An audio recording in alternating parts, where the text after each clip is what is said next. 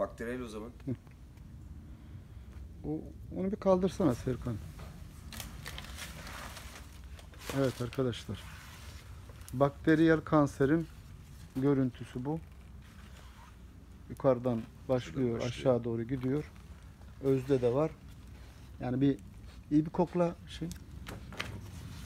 Nasıl kokuyor abi? Leş gibi mi? Heh. Benim burnum kok almadığı için Korona mısın abi sen? yok. Ha, Evet, şey, ben pis doğuştan kokuyor. kokusu var. Arkadaşlar bakteriyel hastalıkların tamamında Söyle böyle pis böyle koku olur. yapış yapış. Sebebi de bakteri çalışmasıdır. Bakterinin kokusudur bu. Hastalığın kokusu değil, bakterinin kokusudur. Bu insan leşinde de, Abi. hayvan leşinde de, bitki leşinde İyi de aşağı. aynı kokuyu yapar ve öz bakteriyel öz çürüklüğü deriz. Aynen böyle. Evet. Çok rahat bir şekilde ta aşağı kadar gider. Yapış yapış.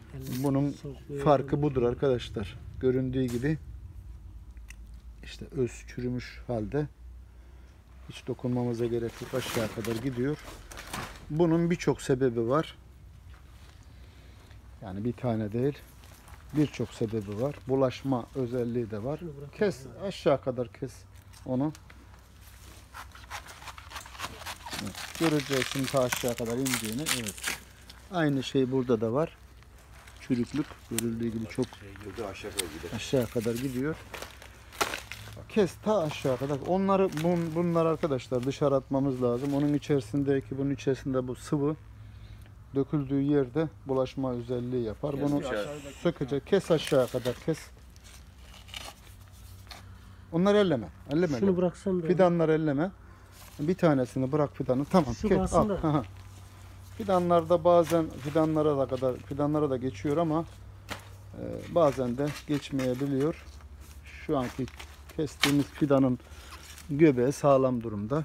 Bunda sağlam. Daha fidanlara geçmişliği yok.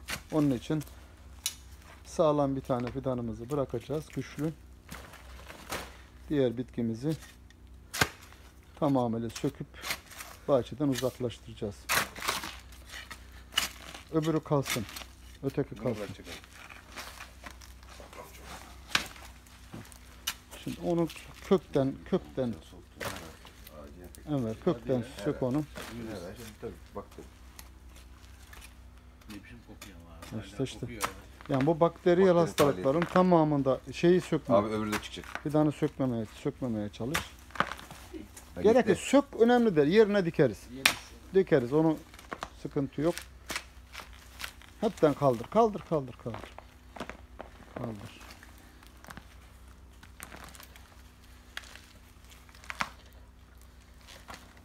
Evet. Çok güzel bir kök sistemi var. Kökte bir sıkıntımız yok. Enver bunu kessene.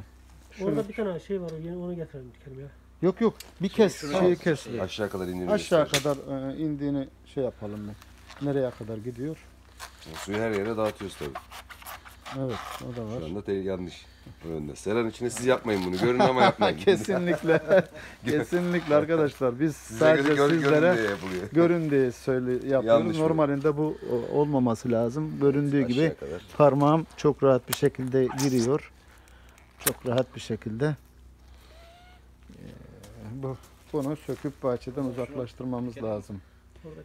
Yanındakini e, e, esasında yanındaki de değil temiz bir bitkinin dikilmesi Temiz lazım. Buraya da kireç Kireç. kireç atılıp dezenfekte edilmesi gerekiyor arkadaşlar. Ee, tipik bakteri bazen şu da olabiliyor. Güneşin vurmasıyla bizim boru dediğimiz kısımda yanma olur.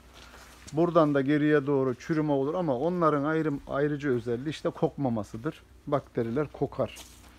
Çalıştığı için bakteri koku veriyor. Bakterinin kokusu bu arkadaşlar. Bu ara Serik'teyiz. Abdurrahmanlar'dayız. Ee, Mayıs'ın ortaları gibi dikim yapılan bir bahçemiz. Şimdi fidanımız çok küçük geldiği için Mayıs'ın ortaları gibi diyoruz. Önümüzdeki günlerde buradan yavaş yavaş doğumlarımızı göreceğiz. Diğer şekilde çok büyük bir problemimiz yok. Ufak tefek kırmızı örümcek sıkıntımız var. Onun dışında bitkilerimiz eee, gayet güzel gözüküyor. Sıkıntı yok. gelişimde gayet güzel. Dönem kurt dönemi, prodonya dönemi. Bahçemizde prodonya problemi de var görüldüğü gibi. Bunlar çok önemli değil.